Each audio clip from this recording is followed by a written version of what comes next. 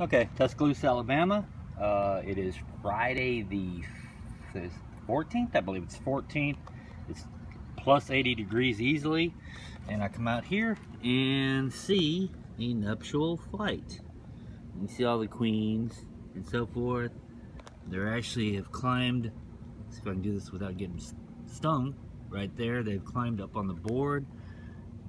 And you can see all of them doing their little mass frenzy. Um, for those that don't know, what a nuptial flight is, when a colony gets to the point they're large enough and so forth, they'll start producing queens and the males.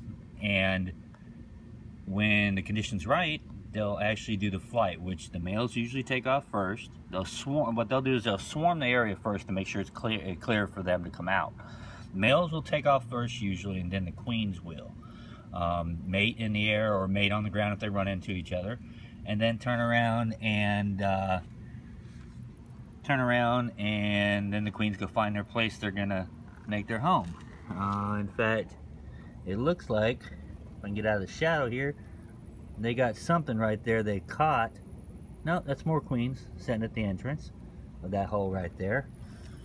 Let's see if I can get another shot of the backside here so you can see a little more of the swarm here. Okay, there's some more of the swarm.